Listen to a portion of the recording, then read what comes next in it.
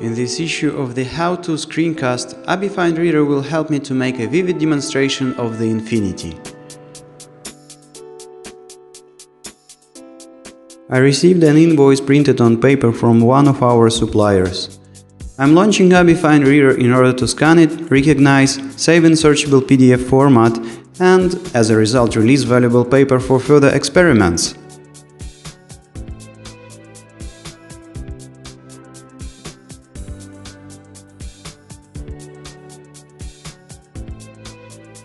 Okay, here is the invoice. And now let's take a scissors and cut off a strip of paper.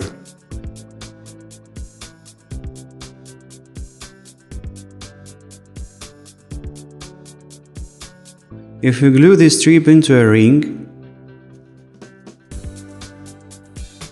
and then cut this ring in the following manner, we'll get two rings.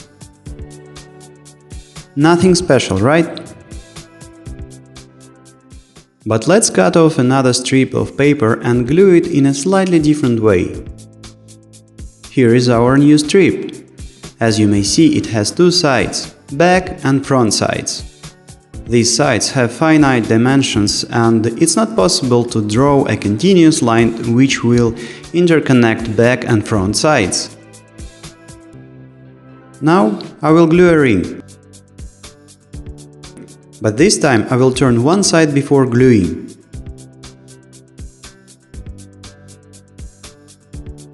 Here it is. This strange ring is also known as Mobius strip.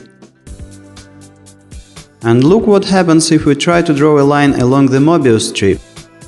I am beginning from the word front and in several moments my marker reaches the word back. I keep drawing and my marker returns to the word front again. Isn't it amazing?